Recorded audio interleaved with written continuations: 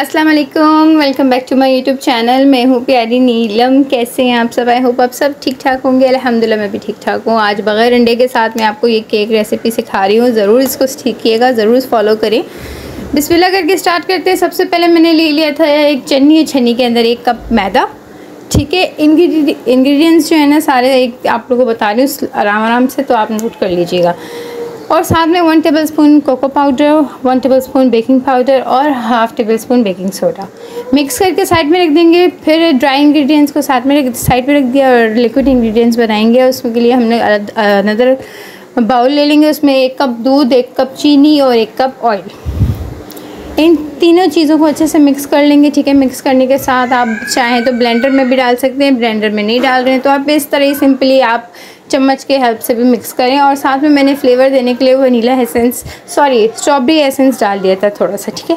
अच्छे से मिक्स करिएगा, दोनों चीज़ों को मिक्स कर लेंगे ड्राई और लिक्विड को दोनों को एक साथ मिक्स कर लेंगे स्ट्रॉबेरी फ्लेवर इसके अंदर आएगा और ज़बरदस्त सा बनेगा। यकीन माने बहुत ज़बरदस्त बनेगा, ठीक हो गया? अच्छे से मिक्स कर लिया हमने और इसको हम ड्राई इंग्रेडिएंट्स के अंदर मिक्सअप कर देंगे। थोड़ा थोड़ा करके डालिएगा ताकि अच्छे से मिक्सअप हो जाए और लम्स ना बने। लम्स ना बने गुटली टाइप ना बन जाए। ठीक है, ये जो चीनी है ना, ये इसमें मेल्ट हो जाएगी। अच्छे से इसको मिक्स करेंगे।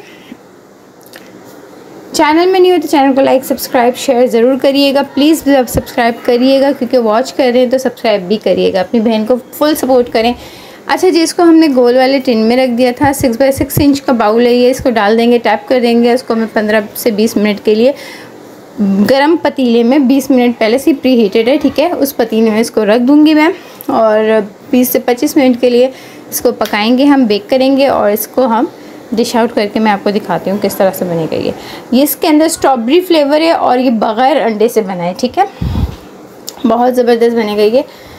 इस तरह से हम ये थोड़ा सा स्पॉन्ज का अच्छा सा फूलने लग जाएगा, फूलेगा और इसको हम डिश आउट करेंगे। बहुत ज़बरदस्ती बनी है ये रेसिपी इंशाल्लाह आई होप आपको बहुत अच्छी लगी होगी।